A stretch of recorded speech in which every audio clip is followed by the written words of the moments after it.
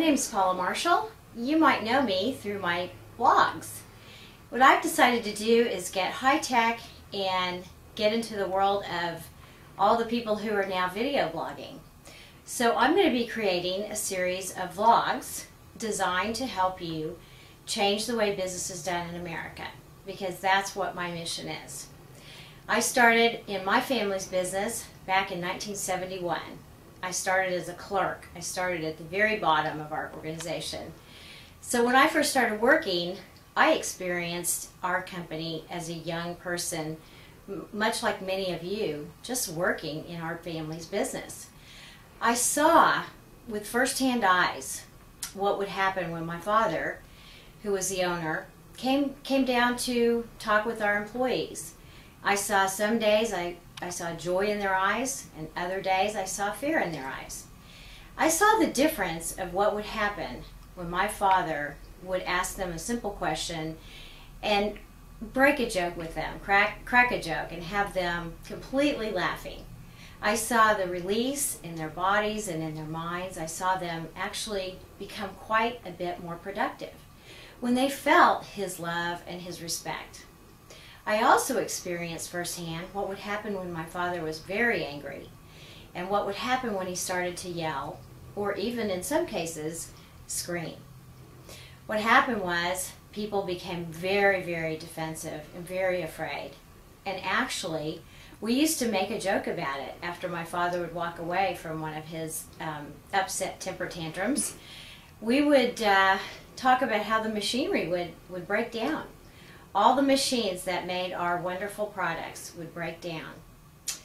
And I realized what would happen to the work site after my father walked away. No one was producing anything. People were emotionally upset and distraught. People were highly concerned if they were going to have a job the next day or not. And what I learned is when you look at the difference in those two workplaces, one joy filled, one productive, one happy and teamwork abounding, and really love for each other was what propelled everyone forward to try to do better and better. Versus the angry work site that my father left, it was it was non-productive. It was sad.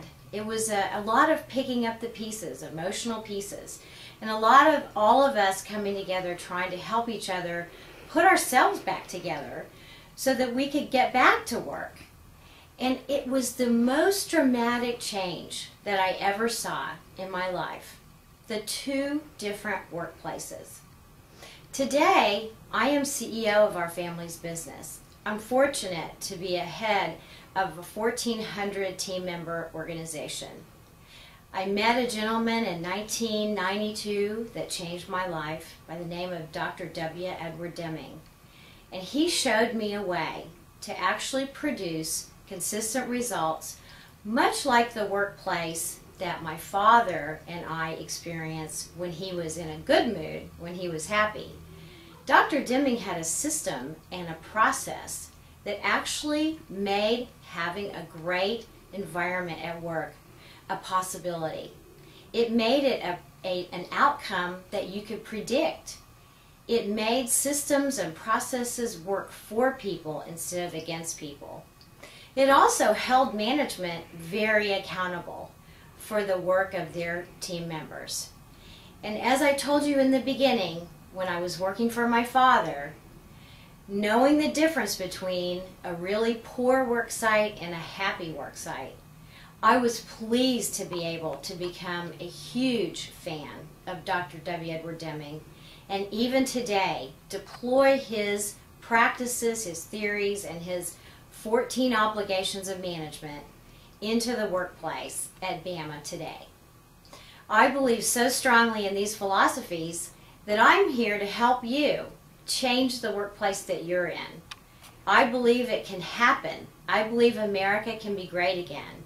I believe we can stop the executives from taking the millions of dollars out of the corporations and put it back into the new corporate America of tomorrow and train the employees and share the profits with everyone and not just leave the profits in the hands of very few who can actually do very little to improve the work sites.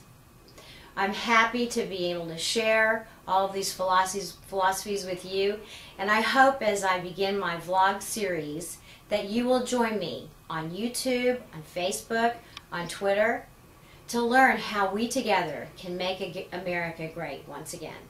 Thank you.